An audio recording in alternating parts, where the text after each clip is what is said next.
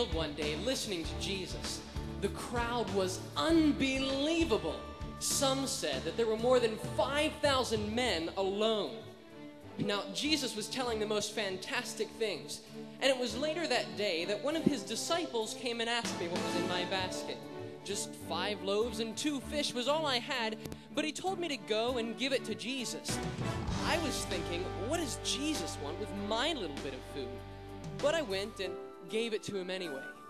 And then Jesus lifted up my fish and my bread, gave it to his disciples, who then passed it out to the crowd. It just kept coming and coming. He fed thousands, and when it was all over, they filled 12 huge baskets with the leftovers. I've never seen anything like it. Tell me who could ever forget that day when he took the fish and the bread, saying, Father, bless what I give away, and everyone in the crowd got fed. Well, I know that I'll never be the same, and I've come to know and believe that what Jesus blesses in his own name is a blessing sure to be well received. All together now praise the Lord for the miracle that we see. Come together in one accord, sing hallelujah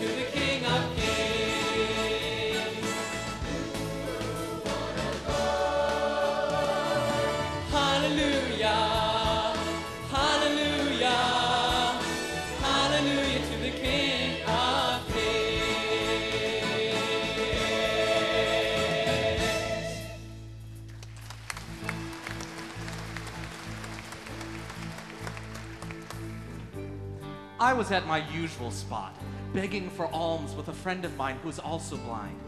We had been hearing for days about this man named Jesus.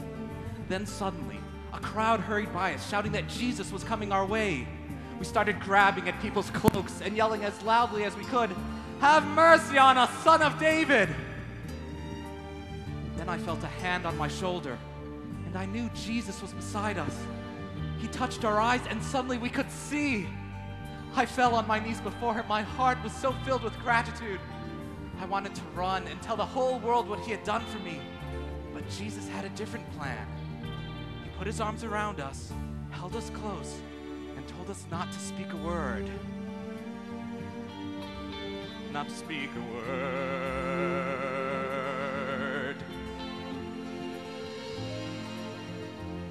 I've got to tell somebody. Tell somebody. I've got to tell somebody. I've got to tell somebody. I've got to tell somebody. I've got to tell somebody. Got to tell somebody what Jesus did for me. I got to tell somebody. Got to tell somebody what Jesus did for me. I got to tell somebody. Got to tell somebody what Jesus. I got to tell somebody. Got to tell somebody what Jesus did for me.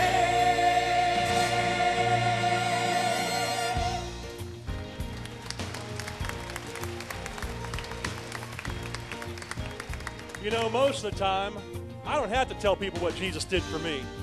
There's always a crowd following me everywhere I go, telling everybody about this incredible thing that happened to me. You see, it, it, it wasn't long ago that a different sort of crowd was gathered around me. It was a crowd of mourners. And I was dead.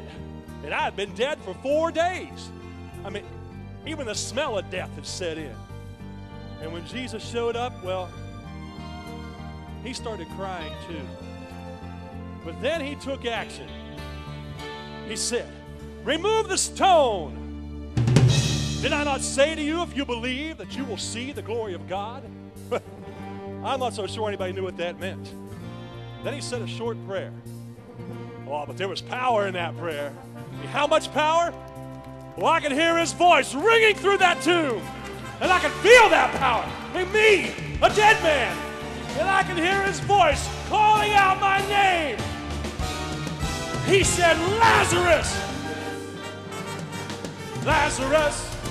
Oh, Lazarus, come forth. He's calling Lazarus!